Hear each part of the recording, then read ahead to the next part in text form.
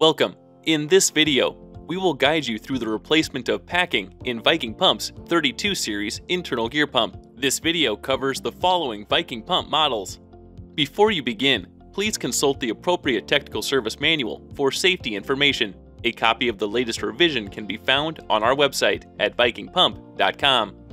To begin, if the pump has been pulled from service, drain the pump of any residual liquid Turning the shaft will help expel any liquid trapped in the gear teeth.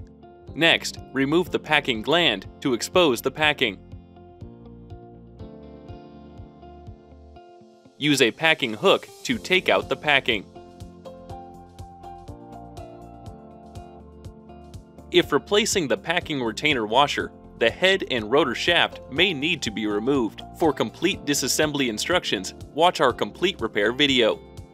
Install the new packing. Lubricate the packing rings to aid with assembly. Alternate the packing ring joints from one side of the shaft to the other to make sure there is no direct leak path through the packing.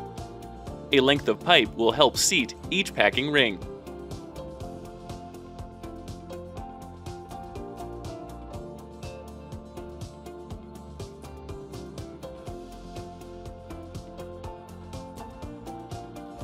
Next, install the packing gland.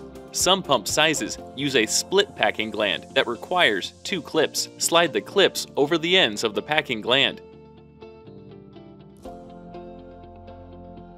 Install the gland nuts. Do not over-tighten.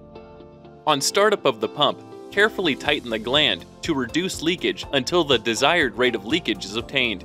A small amount of leakage during the break-in period is necessary to help lubricate and cool the packing. The maximum recommended adjustment at one time is 1 8th of a turn. If during this period heating occurs, back off on the gland and allow the pump to run until the stuffing box cools. Then begin readjustment. The pump should leak at least a few drops a minute to make sure the packing is adequately lubricated.